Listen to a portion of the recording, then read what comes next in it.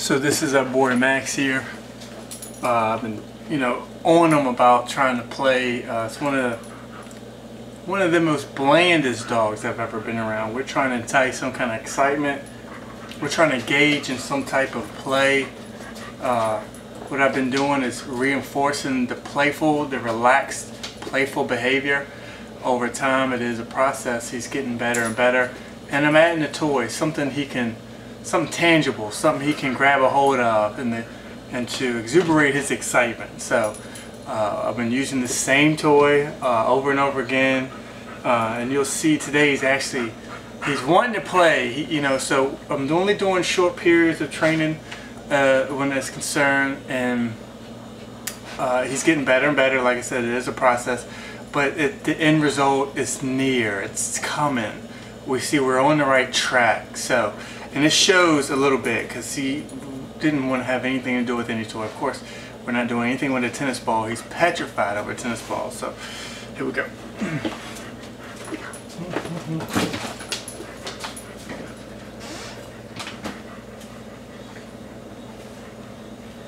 So listen to my voice.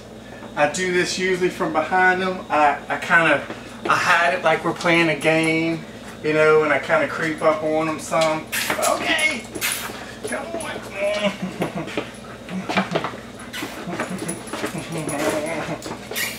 okay. Boy, good. Good. So when he bites at it, when he bites at it, I click and treat. Okay, and we'll go right back into it. Okay, okay, good. Good boy.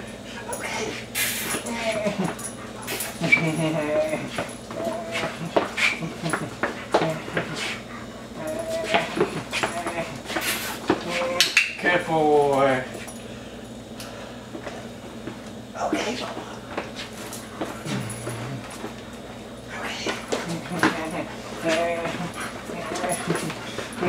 Good boy. So this becomes a toy that he wants to play with. And he only gets it during these interactions, which builds the ultimate value in this thing. And see, I'm hiding it. I'm hiding it away from him. Okay, okay. Good boy. I'm hiding it away from him. Okay, come on.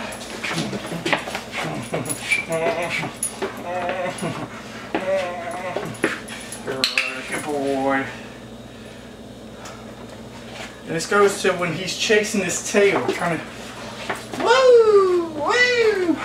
And then to get to a point where I don't have to kind of be behind him because he was chasing his tail. Come on, mother, woo. Okay.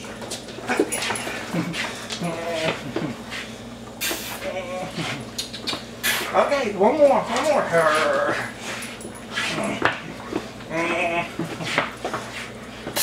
You see his body's kind of, good job. His body's kind of relaxed. Last one, man. You ready? Okay. Come on, mama. Woo! Mm-hmm.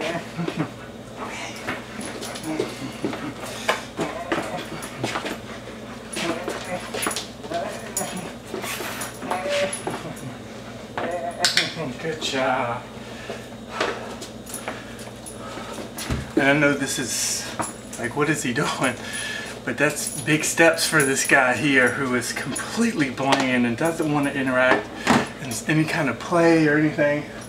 To get to this level, it takes it takes a series of training sessions, um, reinforcing those relaxing instances where he's just completely relaxed. You see what I like to do is when his ears are kind of perked on me, he's focused on me, he want, he's kind of into the game a little bit, he wants to play and um, this lets me know he is relaxed. Now when he hears noises uh, like my uh, belt buckle scraping against the, the side of uh, this cabinet here, he tends to stop and be like, what is that? But it comes right back into play again. So, um, and this is just a process. It's a process and he's getting better and better every day. So we're on the right track. Um, it, what happens is, uh, you know, as much energy as we're putting into it now, in time we won't have to put as much energy into it. Uh, we're just kind of laying the foundation of him actually even doing the fetch and retrieve is which we're, the ultimate goal is. Uh, I want him excited about this toy. I want him excited. All there's a towel that's in the knot. I want excited about this toy so he never gets to see it outside of a training session. Um, but he is getting a, he is getting a lot better. So.